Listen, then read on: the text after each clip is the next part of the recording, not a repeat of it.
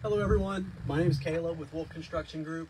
Um, today we're going to talk about two huge questions that we get asked probably almost on a weekly if not daily basis. Um, and that is, should I get interior waterproofing done or should I get exterior waterproofing done?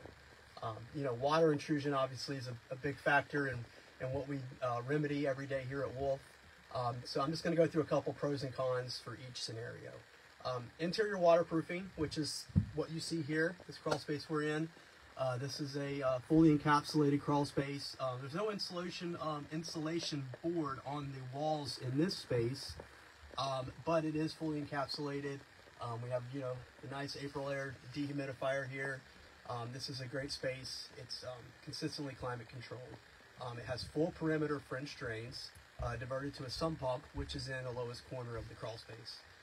this is a pretty cut and dry scenario of something that we install on a regular. Um, this is a great scenario for controlling moisture in the crawl space. Uh, we can do similar things in a basement as well. Um, so, you know, this helps with the, you know, humidity in your home also. Um, it can also affect the air quality. Um, it can affect the heating and cooling um, of your home. Um, you can make it a little more energy efficient for you. you know, and the list kind of goes on and on. exterior waterproofing. there's several methods and ways of doing that. Sometimes, especially in basements, it's a must-have. Um, a lot of times it is a little more invasive.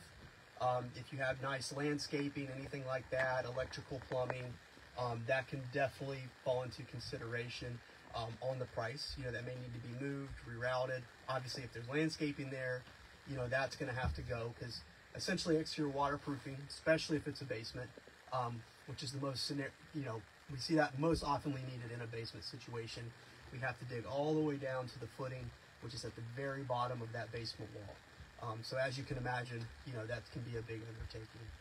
But in some cases, it is necessary. Um, in some cases, it's also necessary to have both. Um, you know, if, if you want to have a climate controlled space, you want to get that air quality in your space, you know, etc. But you also need an extra layer of waterproofing on the outside, you know, to control it properly, you know, sometimes you do have to have both. Um, going to say that's that's pretty rare for us to see that, but it does happen. Ultimately, at the end of the day, call a professional. Let us come out and evaluate it. You know, we'll kind of evaluate what's the best, most cost-effective solution for you, um, so that you're not wasting time and money. And again, reach out to us at wolf.construction, and thank you for watching.